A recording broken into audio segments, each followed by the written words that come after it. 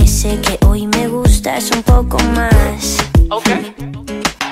Hola, ¿cómo tal? Tal, uh, so nice to meet you.